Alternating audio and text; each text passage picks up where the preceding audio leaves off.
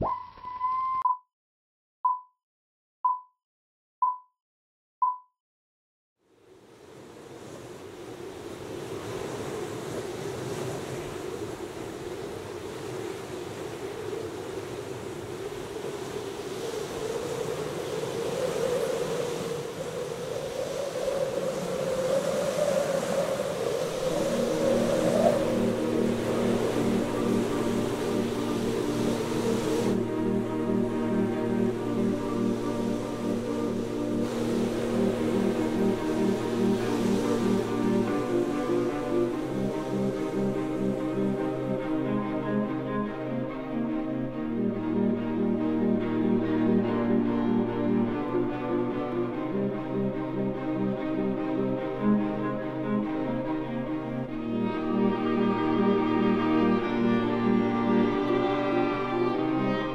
A snowboarder's professional career is pretty short.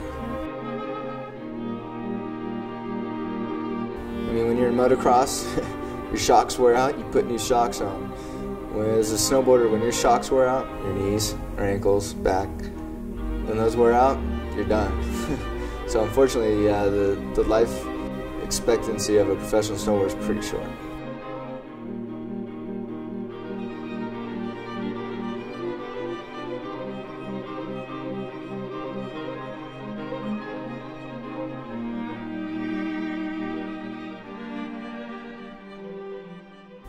Uh, I feel like I've been blessed. I've been competing for 14 years, and just last season, I basically, actually this season really, uh, January, I pretty much pulled out of competitive snowboarding, and it's so hard to do.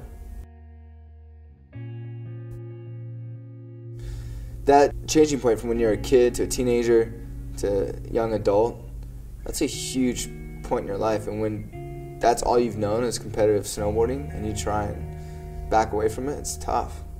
Like I don't know really how to go out and snowboard and not push myself. It's weird. It's weird to just go out and ride and actually step down.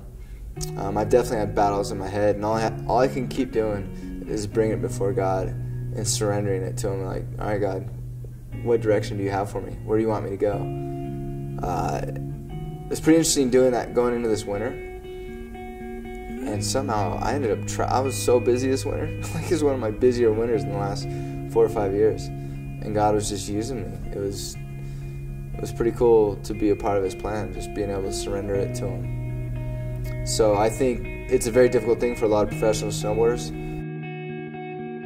I mean, as I look through a magazine, I just think about names that you just don't see anymore. They're just non-existent. What are they doing? A lot of guys have a tendency, like, how are they going to fill that void in their life? A lot of them fill it with drugs. Uh, fill, try and fill it with what money they have left over buying stuff. All of a sudden that runs out. Then what? um, but I'm actually really excited to move on the next phase. Like I feel like I've been blessed with my career. And I'm actually psyched to be moving on. So psyched. It's it's cool because now when I go snowboarding, I'm really snowboarding for myself. I was always snowboarding for the filmer, my sponsor. I mean, that directed what kind of snowboarding I did. You know, trying to make the Olympics, all I did was ride half pipe. Trying to get a, a cover on a magazine, all I want to do is hit backcountry kickers or drop cliffs. Now I get to go out and just slash wind lips because that's what I love doing. just seeing how big a spray. I was laughing the day we were watching some footage, uh, doing all this POV stuff now. And you can see my head every time after a turn, like, how big was that spray? so bad.